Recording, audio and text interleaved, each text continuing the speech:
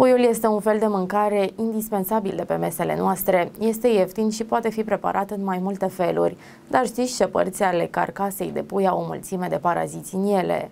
Dacă mâncați multe dintre ele, acestea pot face ravagii în organismul dumneavoastră, dar mulți oameni continuă să le mănânce, oricum cu entuziasm. Știți despre ce părți ale puiului este vorba? Plămânii de pui. Plămânii sunt plini de paraziți și bacterii, chiar și după procesarea la temperaturi înalte. Doar unele dintre ele care sunt sensibile la temperaturi ridicate pot fi eliminate. Cu toate acestea, există de asemenea multe bacterii rezistente la căldură, care se acumulează în plămâni. Odată ajunse în organism, acestea provoacă cu ușurință probleme de sănătate. Chiar dacă nu există nicio reacție, este totuși un pericol ascuns, așa că nu recomandăm consumul de plămâni de pui. Toată lumea știe că acea coadă de pui este partea corpului prin care pui elimină fecalele. Aceasta este plină de paraziți și bacterii. Așadar, oricât de gustoasă ar fi această parte a puiului, este mai bine să mănânci mai puțin din ea pentru sănătatea ta. Capul de pui. De fapt, în timp ce puiul este încă viu pentru a fi mâncat, acesta poate ingera unele substanțe nu foarte sănătoase, iar aceste substanțe se vor acumula în capul puiului atunci când vor fi filtrate. Consumul unuia sau a două capete de pui ar putea să nu aibă